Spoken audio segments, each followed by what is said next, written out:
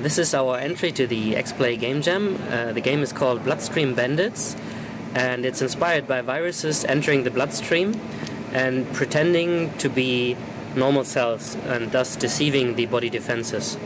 And in the game, you have little triangles, and you can move the triangles on top of each other to form little squares. And if you're in square form, the monsters which eat only triangles will avoid you and vice versa, the monsters which eat only squares avoid you when you're a triangle.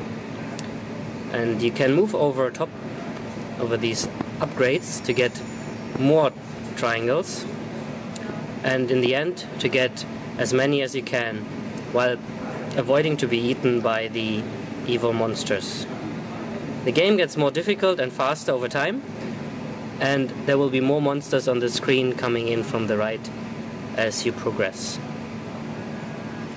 And the game is over once you lose all your triangles.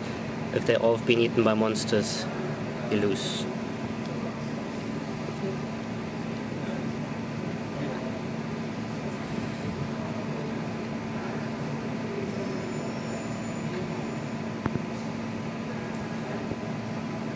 So it's, uh, that's it.